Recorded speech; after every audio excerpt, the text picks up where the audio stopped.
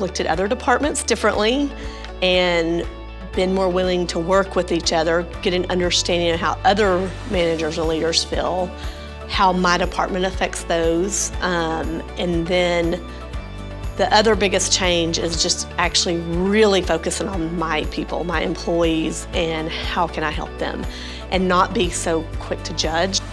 Seeking out feedback before making a decision or rolling out a change.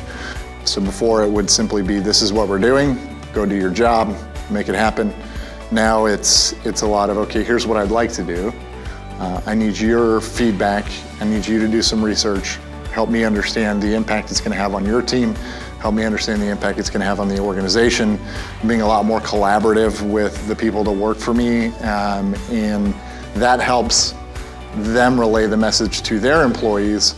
Um, it also helps me, us, develop a plan that is going to work for everybody and is not just, hey, this is, we don't want to continue to push it downhill saying this is your job, this is what you need to do, all the way down to the frontline employee. Um, we want to make sure that we've got buy-in from everyone and that change, becoming more collaborative has helped make those changes a lot easier. I've made significant changes in um, how I communicate with others. I've been able to really determine what makes them tick um, and how to uh, listen definitely how to listen better to how they prefer to be spoken to and communicated with. Used to be more, you know, I come in and I do my job and I help the team. And now it's more about how I can continue to grow and help those on my team grow. And I wasn't doing that as intentionally before, and now I really am. I find myself asking a lot more questions. Um, I think of myself as someone that has a lot of answers because I've been through several different roles within this organization.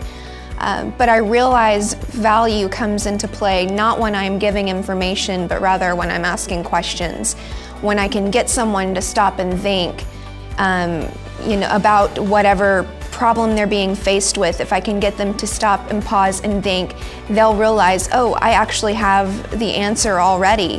Um, and if I just take that moment to step back instead of always offering up the answer and instead asking questions and getting people to think, uh, that's what's really uh, been beneficial for me um, from this mastermind is knowing, hey, ask a question people find that, you know, they're more interested when, when you ask them a question instead of giving them an answer.